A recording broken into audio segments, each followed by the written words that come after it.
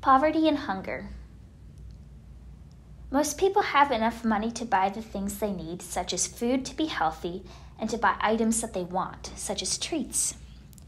Poverty means a person has little or no money or is very poor.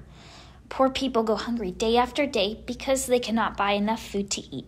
That kind of hunger makes people weak, tired, and sick. About one in nine people on earth do not have enough food to lead a healthy and active life.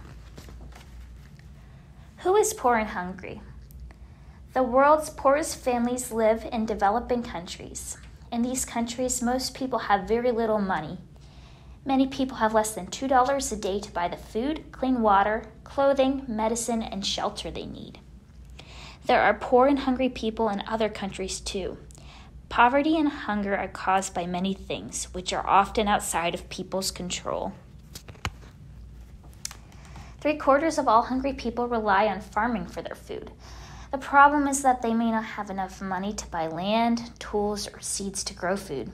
If there is no rain, crops and farm animals might die. Without food to eat, many people starve.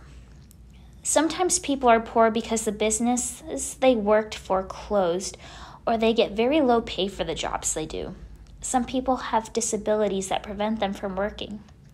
Also, if the person who makes money for a family leaves, the rest of the family may go hungry. Wars can make people poor and hungry. During a war, some people have to fight and cannot work to earn money. Farms may be destroyed and farm animals killed. Bombs are sometimes put in fields, which can prevent farmers from working on the land for years. People sometimes have to leave their homes because of war. Refugees are people who escape to a new place where they hope to be safe, but they have no home or job in the new place. That means they cannot earn money to buy food or shelter. Natural disasters also cause poverty and hunger, and they can happen anywhere. When a flood covers a field with water, it destroys the crops, so the farmer cannot grow food. Hurricanes destroy houses and stores, leaving people without homes, jobs, or food. The world is getting warmer. Global warming is causing more droughts and other natural disasters. When crops are ruined, there is less food to go around. Then the price of food goes up. This means more people around the world go hungry.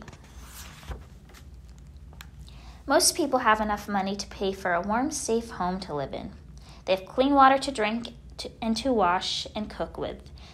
They can afford to buy medicine and pay doctors to help them if they get sick. Poor people may live in damp or cold houses, or they may have no home at all and sleep on the streets instead. Without homes, food, or clean water, people may get sick. When they are sick, they may not be able to afford doctors or medicine to help them.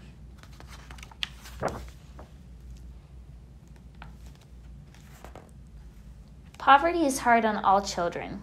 Some may have to miss out on things such as new clothes and school trips. They may be bullied or teased at school. Can you imagine how this feels?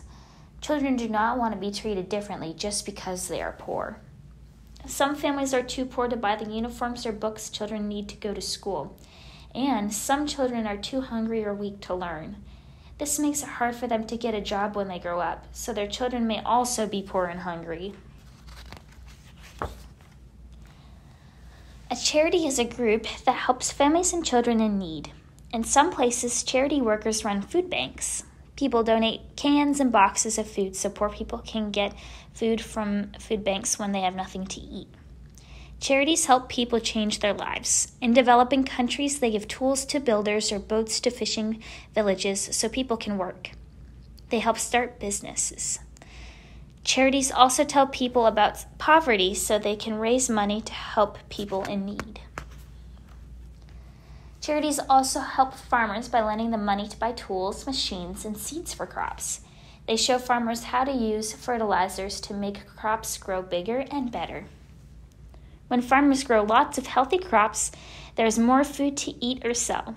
This means a farmer's family has more money. They can spend it on school books, clothes, medicine, and other useful things. We all need clean water to be healthy.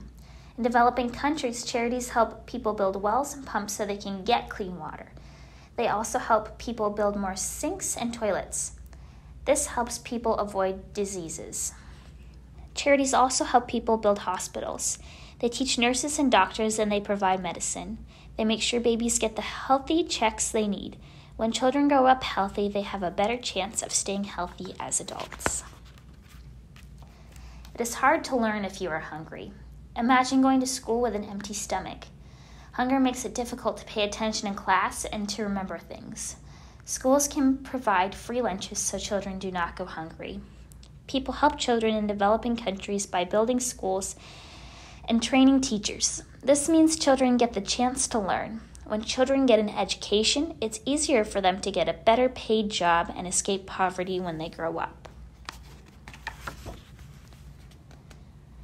It's normal to feel sad or angry that pe- some people live in poverty and hunger when the other people have so much. If you are upset, talk to an adult about how you feel. He or she can help you. Things are getting better all the time. There are fewer poor and hungry people today than there were 20 years ago. That is because people have done things to make a difference, and they are still helping today. It feels good to help people. There are lots of things you could do. You could give old toys, books, clothes, or other items to a thrift store. You could ask your family to give cans of food to a food bank. You could bake cakes to raise money for a charity that helps people who are poor and hungry around the world. What ideas do you have?